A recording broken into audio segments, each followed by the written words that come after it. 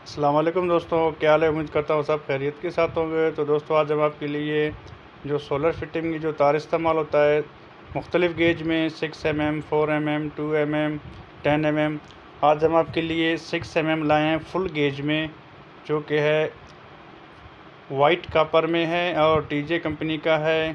بہت ہی پیارا تار ہے اور جو اس کی جو فلیکسیبلٹی ہے، بہت اچھی ہے اور اس کے جو کور آپ دیکھیں، جو اس کے اوپر جو کور ہے اس کا بہت ہی پیارا اور اس کا خاصیت یہ ہے کہ یہ فائر پروف ہے اور ہیٹ پروف ہے واٹر پروف ہے۔ ابھی ہم اس کو آگ کے ذریعے سے جلانے کی کوشش کریں گے۔ آپ دیکھیں اس کو آگ بھی نہیں لگے گا۔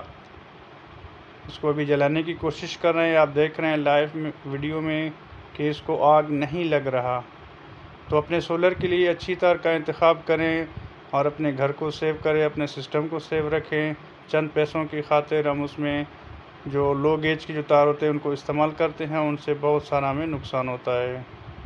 تو مزید ایسے معلوماتی ویڈیو کے لیے آپ ہمارے چینل کو سبسکرائب کریں، ویڈیو کو لائک، کمنٹ اور دوستوں کے ساتھ شیئر کریں۔